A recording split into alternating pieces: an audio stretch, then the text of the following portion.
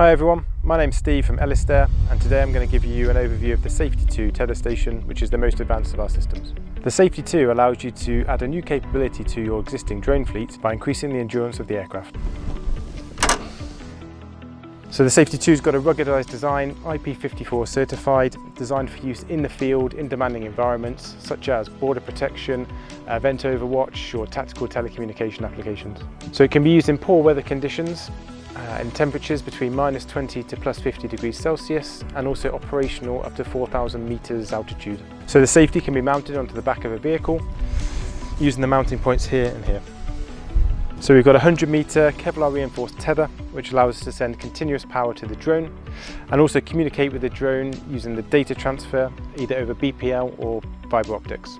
So the drone will pull the tether out of the tether station and then the tether station will wind back the tether uh, automatically using the winch guide you can see here to allow it to be wound nicely onto the drum.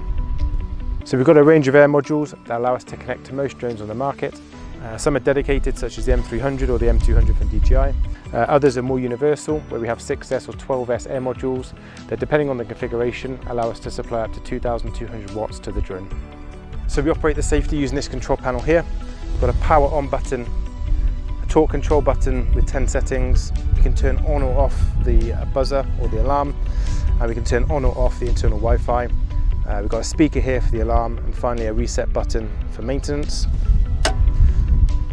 On the side, we've got two RJ45 ports for the data transfer, and finally, we've got a power in socket which takes 120 and 230 volts AC. So the setup's really easy. Uh, first, we need to put a power source into the system, either from the local network or from a generator.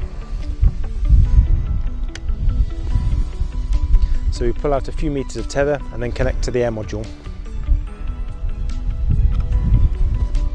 Okay, so now turn on the drone and now power on the tether station. Okay, so the drone can now stay airborne for several hours without the need to change batteries as it's been powered through the tether.